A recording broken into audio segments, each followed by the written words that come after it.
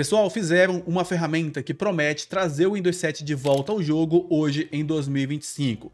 Essa ferramenta tem como propósito fazer o Windows 7 rodar aplicativos e ferramentas mais atuais mesmo na última versão disponibilizada pela Microsoft. Nesse vídeo, a gente vai adicionar essa ferramenta ao sistema e também vamos testar na prática, para que você não passe horas instalando e configurando e talvez se arrependa. Vem comigo ver um pouco mais sobre isso.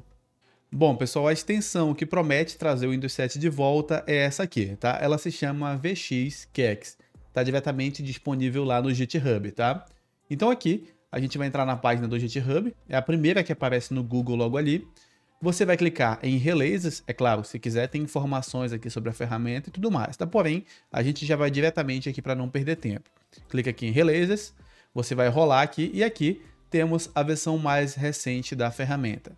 Aí você clica aqui em qualquer uma dessas duas versões. Ambas vão servir aí para o mesmo procedimento, tá? Observe que a última atualização aqui foi dia 21 de dezembro de 2024, então tá bem recente, tá? É um projeto que promete aí trazer o Windows 7 de volta ao jogo.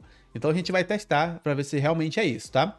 Clica sobre o setup, faz a instalação no seu computador, clica em install, dá permissão do Windows, marca essa caixinha aqui e dá um finish. Sim aqui, marca todas essas caixinhas aqui e simplesmente clica em aplicar e depois em OK. Fechou? Agora eu vou pegar algumas ferramentas para a gente estar tá testando, tá? Vou pegar as principais ali.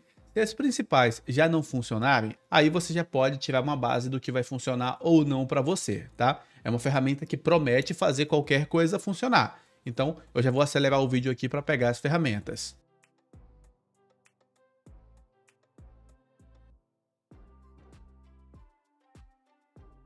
Então pronto, pessoal, peguei aqui a Steam, que não funcionaria mais no Windows 7, peguei um antivírus, uma Webbytes, que é a versão mais recente dele também não tem funcionamento no Windows 7, o Chrome, o Brave e também o Opera GX, tá? Só para a gente fazer teste, não estou recomendando nada aqui.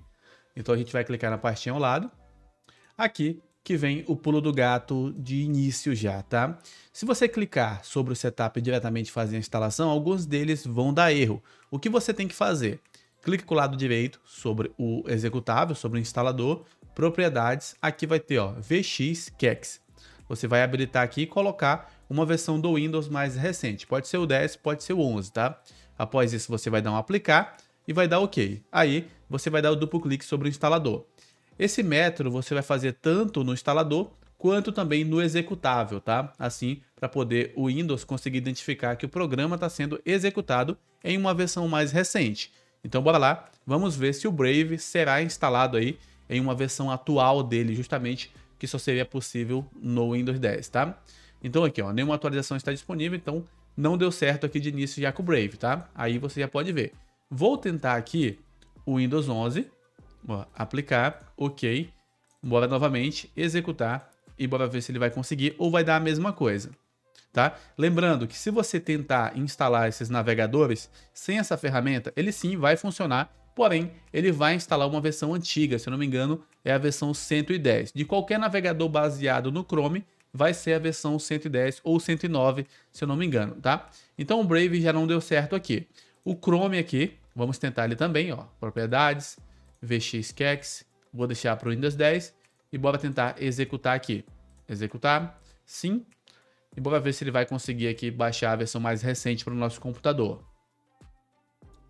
Bom, aqui parece que já está fazendo download. O que a gente tem que ver é se ele vai conseguir colocar a gente na versão mais recente, que é a versão 133, tá? Então vamos aguardar um pouquinho. Ó, aguardando para iniciar a instalação e instalando. Aqui pelo menos já começou a instalar, né? No Brave nem deu isso. Ó, Chrome aqui. Já executou automaticamente aqui, tá? Para receber futuras atualizações, ó, ó, ele identificou que o computador está utilizando o Windows 7. Então o que a gente vai tentar fazer aqui? Executar o local do arquivo, propriedades sobre o Chrome e vamos ver aqui se habilitando esses recursos ele deixa a gente atualizar ali. Então vamos botar aqui, ó, tal. Vamos executar o Chrome. Beleza, a, a princípio é para ele identificar como se a gente estivesse utilizando ali uma versão de sistema operacional mais recente, tá? Ele já apareceu aqui, ó, atualizar. Bora lá, o Chrome está desatualizado, reinstalar o Chrome. Ó, até o momento ele só está dando esse erro aqui. Vou entrar diretamente nas configurações. Ele não consegue fazer nada, pessoal. Ó, infelizmente ele consegue identificar que está sendo algo burlado ali e não está deixando a gente fazer nada aqui. Vou tentar fazer isso, atualização diretamente pelo setup. Então vou vir aqui, executar, sim, bora ver se ele vai conseguir atualizar ou se ele apenas vai resetar. Lembrando que esse setup aqui ele é universal. Ele tem que identificar o sistema que você quer e ele vai pegar a versão de navegador que seja justamente para aquela versão do Windows que você tá, tá bom? Então vamos aguardar um pouquinho. Já atualizou. E mesmo o erro aqui a gente está tendo, né? Então não adianta que ele não está conseguindo burlar o Google Chrome. Provavelmente todos os navegadores baseados no Chrome não vão funcionar. O que a gente vai fazer aqui? Vamos tentar outras também, só para tirar essa dúvida de vocês, tá? Temos aqui o Opera GX, propriedade VX, vou colocar diretamente no Windows 11, aplicar no setup dele, executar.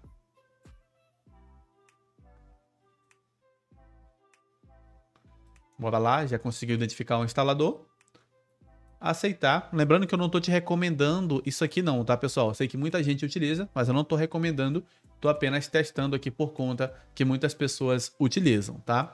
Então, bora lá. Já está fazendo aqui o processo de instalação. Pronto, vamos ver. Ele tem que jogar a gente também na versão mais recente. olha só, ele crashou aqui, tá? A ferramenta não conseguiu fazer ele funcionar. Eu vou mudar aqui. Ó, vou executar aqui o launch, novamente, só para você ver. Agora já executou, né? Vamos ver se ele está ali na versão mais recente. Então a gente vai entrar nas configurações. Bora lá, aqui nas configurações, ele está na versão Core 95, tá? Verificando se tem atualização agora. Eu não tenho informação aqui se essa é a versão do Chromium ou a versão específica do Opera GX, tá, pessoal? Não tenho essa informação aqui. É o primeiro navegador que eu vejo eles retirarem. Mas, pelo que parece, ele tá na versão mais recente de 2025, hein? Sinistro isso aqui. Então, provavelmente aqui deu certo, tá? Vamos ver. Vamos continuar testando aqui, tá? Você testa o Opera GX e vê se realmente ele tá na versão mais recente. Aqui tá dizendo que é a última versão de 2025, tá bom? Então bora lá, vou fechar aqui agora, sair do Opera, nem precisei mexer mais nada ali. Temos aqui também o Malware Bytes, tá? Um antivírus muito bacana, gosto bastante dele também. Já vou adicionar aqui, ó, para Windows 11, aplicar, dar OK. Já vamos instalar ele no modo compatibilidade, que essa ferramenta faz ter aí, né? Instalar, ó, próximo, vou pular aqui algumas etapas só para o procedimento ser mais rápido, tá? Então, ó, instalando, Bom, pessoal, aqui já não deu certo. Ele identificou que tem alguma coisa errada aqui, tá? Então, o que eu vou mudar aqui? Eu vou novamente no instalador, propriedades, vou tentar para o Windows 7, tá? Vou tentar para o Windows 10. Aplicar, vou tentar mais uma vez. Algum desses tem que dar certo, se não der, a gente nem tenta mais, tá? Então, bora lá. Próximo, pular aqui. Vamos deixar ele fazer novamente. Se, se não der certo dessa vez, a gente já vai testar aqui a Steam e também executar a Steam para dar uma olhada lá dentro para ver se os jogos vão ser instaláveis, vão aparecer a opção de instalar e tudo mais, tá? Então bora aguardar um pouquinho. Bom, tivemos mais um erro aqui, então não vamos conseguir aqui instalar versões para Windows 10 nem para o Windows 11 dessa ferramenta, tá? E aqui, o nosso outro teste, a gente pode instalar diretamente daqui, ó, também, tá? Você pode instalar primeiro e depois mudar, ou pode instalar já no formato aqui direto para o Windows 10 e o Windows 11, tá? Então marca aqui certinho aplicar, ok, faz a instalação da Steam, ó, executar, próximo, vamos avançando aqui, concluir, e olha aí, ela executando perfeitamente, né? Bom, demorou um pouquinho mais, executor, tá bom? Se você for tentar utilizar a Steam e mesmo assim der o erro, tá, eu te recomendo que você clique com o lado direito sobre ela, vem aqui, ó, abrir local do arquivo e você faça o procedimento aqui, tá? Porque às vezes não aplica, às vezes sim, às vezes não. Então você testa aí e marca essas duas caixinhas diretamente na raiz de arquivos, tá bom? Então aqui eu vou fazer login para a gente estar tá conferindo. Ver se está funcionando o login e tudo mais. Ó. Fazer login aqui via QR Code. Carregando dados de usuário. Até então pode ser que ainda dê para algumas pessoas utilizarem, tá pessoal? Lembrando ali que rodar jogos não quer dizer que só porque a Steam está dizendo que pode, que alguns jogos não vão dar erro de compatibilidade, tá?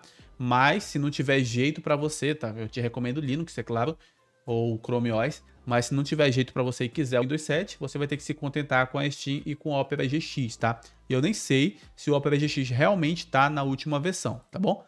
Mas, cara, aqui, ó, a Steam, a gente vê que ele deixa instalar normalmente, utilizando nesse método, tá? Então você pode estar tá testando aí e ver como vai ser, tá bom? Então, basicamente isso, pessoal. Infelizmente, não tem aqui como testar jogos para vocês. Não é um PC forte, tá? Um PC que nem drive de vídeo eu instalei aqui. Mas é isso, tá? Eu espero que tenha tirado a dúvida de vocês em relação a essa ferramenta. Minha opinião, que para apenas duas ferramentas não vale a pena, tá, pessoal? Se não funcionou a maioria aqui, então não vale a pena, nem perca seu tempo. Utilize ali uma distro Linux, utilize ali o Windows 10 mais leve, tá?